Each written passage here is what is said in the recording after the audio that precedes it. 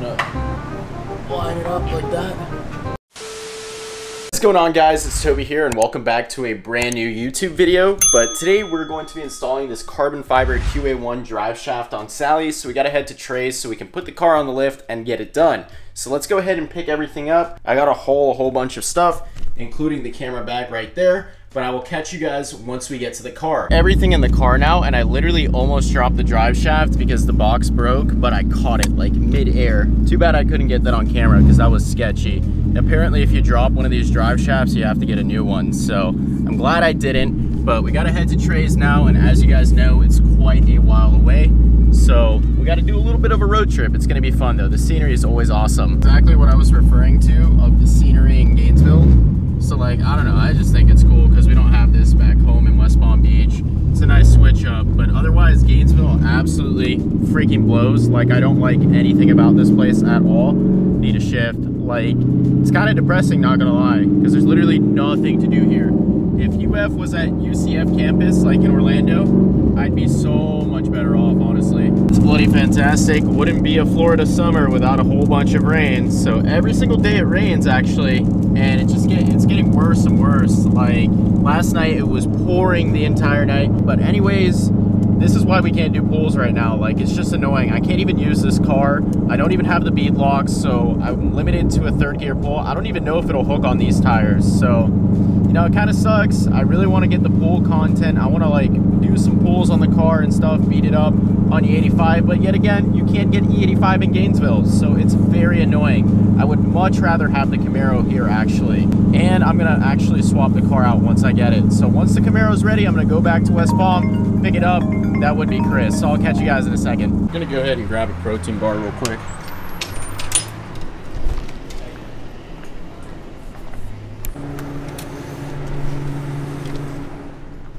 What's going on with all these gas pumps, but they literally are running out of 93. So I just filled up Sally with some 93 and the pump kept clicking off. So that means that they're obviously low on it and they don't really have much. Now, what's up with that? I hope I don't have a gas leak and that's not from me. Nah, it wouldn't make sense because the car would have ignited already. So I don't think so. But yeah, we're now like 10 minutes away from Trey's and I can't wait to see the man and get this stuff done. Let me hear it get a new car, Trey? no, oh, this is it's really? Should I go on the other side? Probably, I'm not sure. All right. Yeah, I'm tall.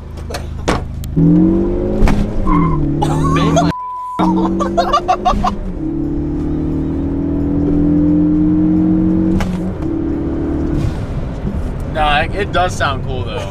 It's just a little so, excessive. Yeah, it's so excessive. you hear the tire spin?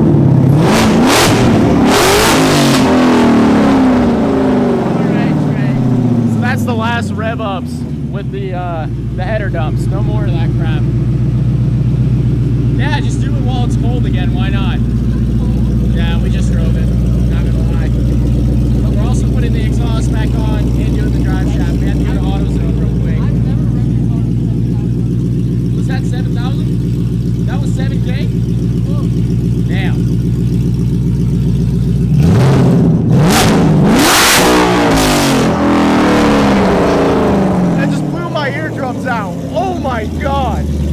Pierced my eardrums. They still hurt. That was so freaking loud.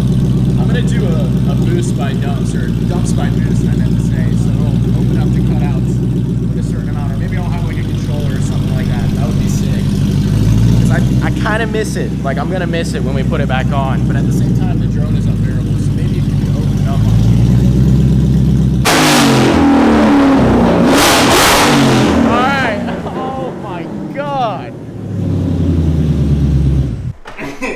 no big deal, bro.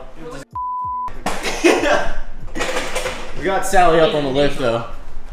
And we're gonna see what's going on with this drive shaft. Thankfully, Carson here used to work in a shop, so he's done it. he's done it before, so we're not gonna be completely blind, Trey and I, figuring this one out. Yeah, should be pretty easy. Should be. I'm not gonna. I'm not gonna say that. Hey, Don't jinx it. Don't yeah, jinx no. it. currently taking out the 10 mil bolt. Super loud. Those are easy. also prying this back with the screwdriver, but I already did it, so I kind of should have filmed that, but it's it's whatever. You guys get the general idea. And then we're taking off this right here because this is a two-piece drive shaft. The one I have right now is a one-piece, so you no longer need this mount right here. So get rid of that. What did we say about that Trey? Crikey. reduction. R- weight reduction, crikey. More torque on it, Carson. Come on. hit the. yeah, that's easy. The back, trans. the back of the trans. Yeah. What's that thing called though? It's like Flux capacitor. that thing. No. no, I'm talking about that thing right there. This? Right before it mounts up to the. uh You know what I'm talking about? It looks like a a propeller. The Triangle. This right here? Yeah, the the triangle thing. Actually Go, crikey, mate, pull that All drive right, shaft. all right. Hold it out. Not a reenactment at all. And now it's time for the carbon one. So I just wanted to see the difference. This one, I think it weighs like 40 something pounds. That's what I was reading online.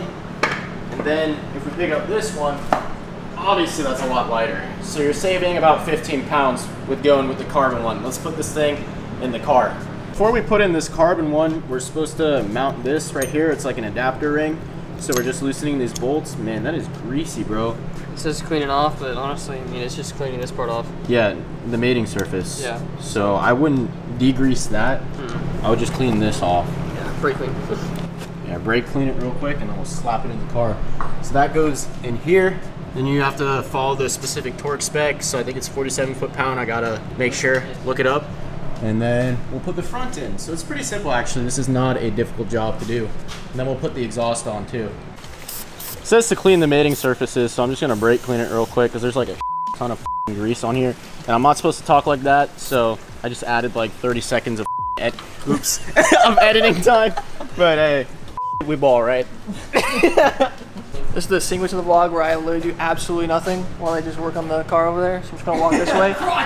They're never gonna they're never gonna know they're never gonna know what I'm doing. I'm just gonna stand over here. We're gonna take a trip up this ladder right here. They're never gonna know. Is there anything about lubricant through this? Because it has a little bit. Probably just on the uh, sequence of the vlog where I uh, that's what took the car. Hey, what are you doing, Trey? I'm not doing anything. So now I'm torquing down the CV adapter, I think it's called, or whatever. 47 foot pound, according to QA1, so. Don't even say that, Trey. oh my god. Dude, this angle's annoying. I need an extension, I think. Then you're just gonna line it up like that. Where do you need me to twist it? Which way? Oh, I'm trying to see this different. Go twist it to the right oh, just a Oh, little bit. it's like moving weird though. Yeah, that little clip right there. Got Oh, it? there's a little ball thing up there. There you go. Now just push it. You got it. Perfect. Twist it to the right a little bit. To the right? Oh, wrong way. Sorry. Left. Yeah, like that. Yep. Run that bolt in. Put a line it up. It's right here. I lined it up. Go back left a little bit. Just a little bit. You're good. So we're dealing with one issue here and getting the drive shaft back to the trans. So like the Allen key socket that I have doesn't really fit right there. So I don't know how we're gonna torque this. Maybe there's like a deep or something like that. Maybe we need to use a swivel, but it's pain in the butt. So I'll update you guys as we go. But the back right here is pretty much all lined up. So QA1 puts like a little mark on here. So you need to line that up with the orange. I didn't show that real quick. Oops. Kind of messed it up. But this right here is to make sure that it's balanced. So make sure that you line up the adapter with this right here with these orange lines and everything needs to go straight up like that so that it's balanced and it's not going to go flying off. It probably won't go flying off, but it'll make like a whole bunch of weird noises and vibrations and that's just how you make sure that everything is balanced correctly.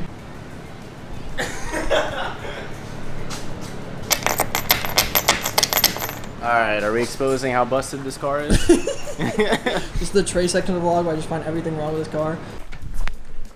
All right. After consulting with uh, Father, Father West Father, Father West, and we- having some food. and having some great had some barbecue, fire brisket, right? some brisket, and some burnt ends. Although he had some uh, criticisms for it, right, Trey? Not, not gonna lie, it was a little tougher than last time. gonna see that.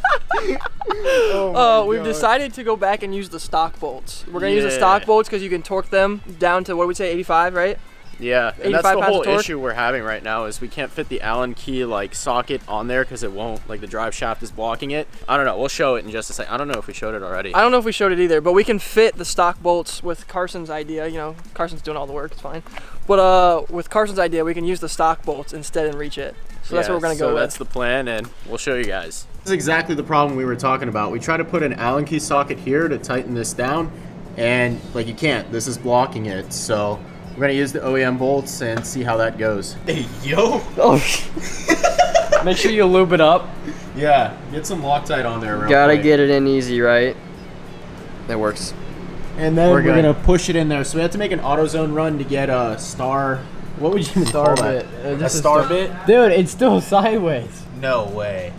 I think it'll work though. There's enough. You don't want to strip it though. Do you think like uh Oh my god. What do you think we have to do then, Carson? I mean, honestly, That it's still sucks, bro. sideways, but it's like, barely. mm, I don't know. We'll figure. it's it out. It's in there. I just don't want to strip it because now it's a star bit instead of a hex head. Doing this, you are gonna be at a slight angle when you're torquing it down, and it's a lot. I think I have someone hold that right there. Hold it. Or should I just? God damn! You see how it's bending? That's scary, bro. Trey, you want to hold that? That's sketchy. There we go. And then obviously you're just gonna do that to the two other bolts. Well, we already did one, so one left. This is literally the last step of torquing down those 10 10s at the end. So pretty sure it's 10 millimeter with the Allen key. You just gotta go torque every single one of them down to make sure that everything is good. And that is the last step to the install. Then we'll be set to make sure that everything feels okay and there aren't weird vibrations or noises coming. So apparently it gives you more NVH in the first place, but you don't want anything excessive because that means something's off. So we want to make sure that we didn't mess up. So we fought with the exhaust and tried to put it back on after the drive shaft for literal hours and it just didn't fit right. So we called it and I'm gonna take it to an exhaust shop and see what they can do. But I don't think it can be fitted without any custom fabs. So we tried our best and we're gonna try out the drive shaft, make sure that everything seems okay. So we're gonna give it a test drive. Fuel hat retainer because the car stinks like gas. So I think like it might be a little loose. We're gonna give this test drive with the drive shaft too right after that. So we'll see in just a second why this car smells so strongly of gasoline. So what do you think, Trey? Everything is feeling good so far, I think. Yeah, I don't feel any vibration on Yeah, I don't feel any weird vibrations, but let's increase the speed and we'll see. It's wet, super wet. I don't feel anything. No, it's okay, it's good. Yeah, I think I'm good to go home. Then I'll figure out the exhaust. Yeah, it feels fine. There's no vibration. And I'll check the fuel hat too, because it stinks way too much of gasoline in here. Like it is definitely not normal. So yeah, the car's good, and we'll you guys updated when I go to the exhaust shop tomorrow and I fix the fuel hat. Then we'll end the vlog. So carbon fiber drive shaft was in fact successful. Here's a quick little update on things. It's actually a few days later, and I still wasn't able to get the exhaust installed because Gainesville is so busy right now. So it's still sitting in my back seat right there. And I think we're just gonna have to include that in a different vlog because I wanna get this one up. I'm just gonna have to, oh my God, I hate this apartment, bro. They literally don't have enough parking and then they stick this on your window. Like where else am I gonna park? I'm gonna have to go to an exhaust shop maybe this weekend when I go back home for my birthday because it is in fact my birthday today, but I don't know what I'm gonna do because everyone in Gainesville is busy. They said they can't do it. They have no availability for the next two weeks. And I guess we're rocking the header dumps until I can get the exhaust sorted out. So pretty much that's it. I'm gonna move the car. And if you guys enjoyed this video, please remember to comment, like, and subscribe. And I'll see you in the next one. I hate this apartment. Really?